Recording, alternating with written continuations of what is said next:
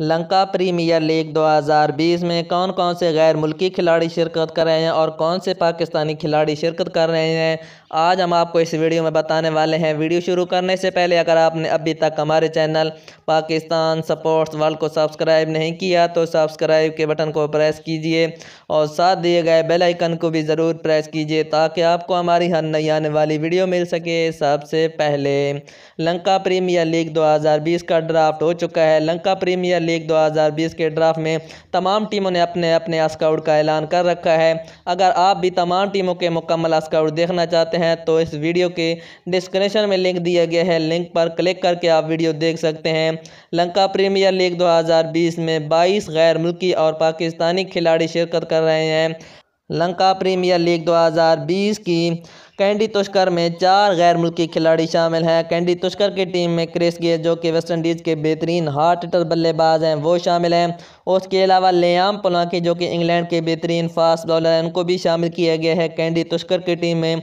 उसके अलावा बेहतरीन पाकिस्तानी फास्ट बॉलर वहाब रियाज को भी कैंडी तुष्कर की टीम में शामिल किया गया है। उसके अलावा नवीन उलहक जो कि अफ़गानिस्तान से ताल्लुक़ रखते हैं, बेहतरीन बॉलर हैं, उनको भी शामिल किया गया है कैंडी तुष्कर की टीम में। उसके अलावा दम्बोला हाक्स ने चार गैर मुल्की खिलाड़ियों को अपनी टीम का हिस्सा बनाया है। दम्बोला हाक्स में डेविड मिलर शामिल हैं, जो कि साउथ अफ्रीका के बेहतरीन बल्लेबाज हैं। उसके अलावा वेस्ट इंडीज़ के बेहतरीन हार्ट हिटर बल्लेबाज कार्लोस ब्रत वाइट को टीम में शामिल किया गया है। उसके अलावा सहमद पटेल, जो कि इंग्लैंड से ताल्लुक़ रखते हैं, बेहतरीन ऑलराउंडर हैं, उनको शामिल किया गया है। उसके अलावा बेहतरीन बल्लेबाज आयरलैंड से ताल्लुक़ रखने वाले पॉल सटलिंग को भी दम्बोला हाक्स में शामिल किया गया है। उसके अलावा जफना सटेलियन में चार गैर मुल्की खिलाड़ियों को अपनी टीम का हिस्सा बनाया है। एक तो डेविड मिलान है जो कि इंग्लैंड से ताल्लुक़ रखते हैं, बाकी तीन खिलाड़ी पाकिस्तानी हैं। पाकिस्तान के बेहतरीन ऑलराउंडर, बेहतरीन बल्लेबाज शुएब मलिक शामिल हैं। जफना सटेलियन में उसके अलावा उस्मान खान शनवारी जो कि बेहतरीन पाकिस्तानी फास्ट बॉलर उनको भी शामिल किए गए हैं।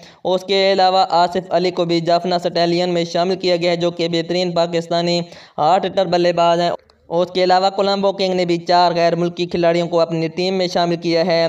कोलंबो किंग में आंद्रे रसल शामिल हैं, जो कि वेस्ट इंडीज़ के बेहतरीन ऑलराउंडर उनको शामिल किया गया है। उसके अलावा साउथ अफ्रीका के बेहतरीन बल्लेबाज फाफ दुपलसी को भी कोलंबो किंग में शामिल किया गया है। उसके अलावा इंडिया के मनप्रीत गोनी को भी टीम में शामिल किया गया है।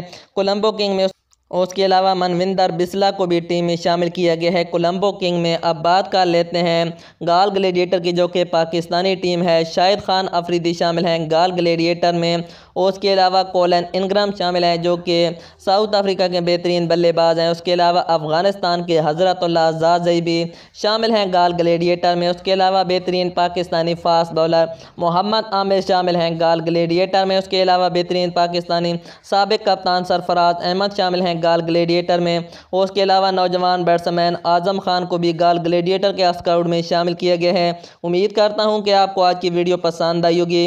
अगर वीडियो पसंद आए तो वीडियो को लाइक और शेयर ज़रूर कीजिए। अपना बहुत ख्याल रखिए। खुदा हाफिज़।